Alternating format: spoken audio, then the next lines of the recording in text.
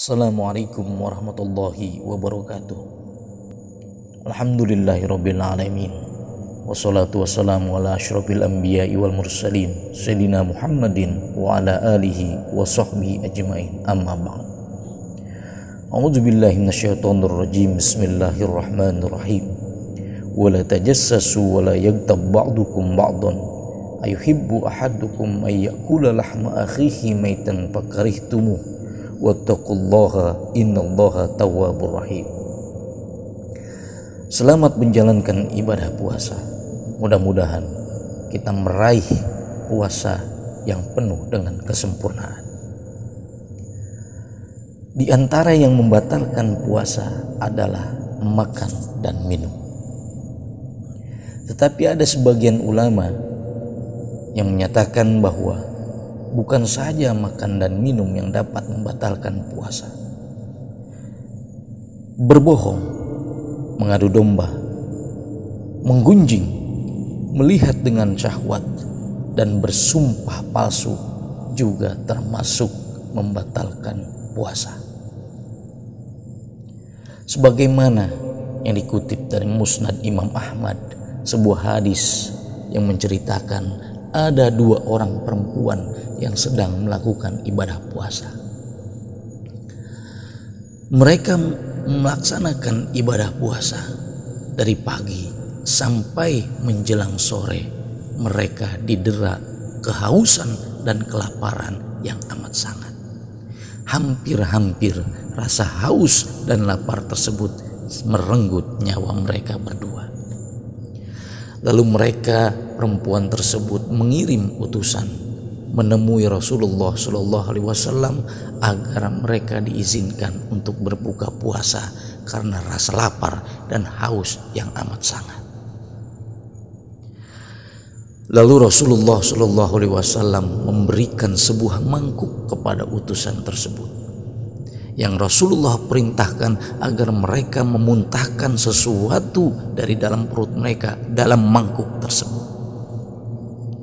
Maka utusan tersebut pun memberikan mangkuk kepada dua orang perempuan yang sedang berpuasa tadi. Lalu diberikan mangkuk tersebut agar perempuan yang satu memuntahkan dari dalam perutnya.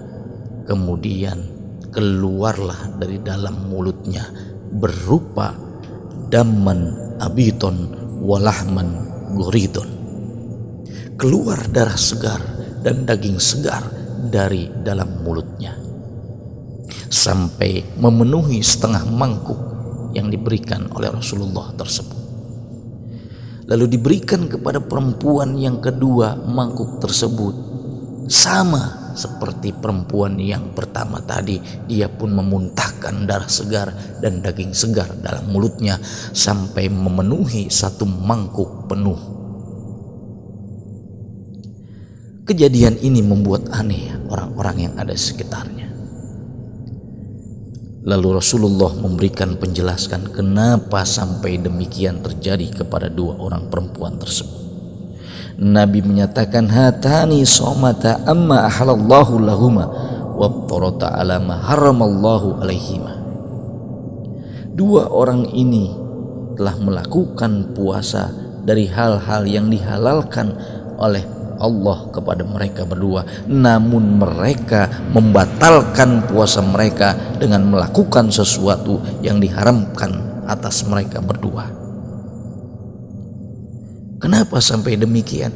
Ternyata di antara kedua perempuan tersebut ketika mereka puasa pada pagi harinya mereka saling menggunjing keburukan orang lain.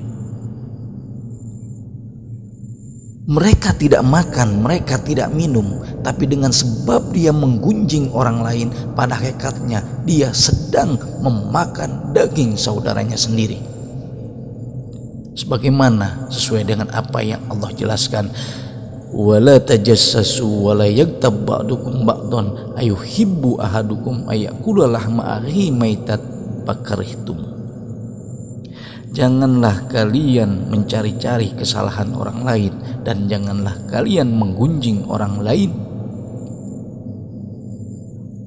Apakah kamu suka di antara kalian memakan daging saudaranya sendiri padahal mereka tidak menyukai jika itu mereka lakukan intinya daripada penjelasan ini adalah kita dapat batal puasa karena makan dan minum.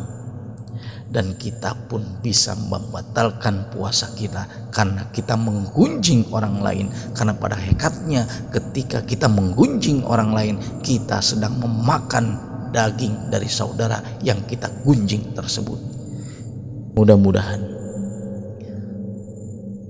kita terhindar dari menggunjing orang lain ketika sedang puasa ketika kita sedang menggunjing orang lain kita sedang menikmati daging mereka yang parekatnya itu sudah membatalkan puasa kita. Wallahu a'lam bishawab. Assalamualaikum warahmatullahi wabarakatuh.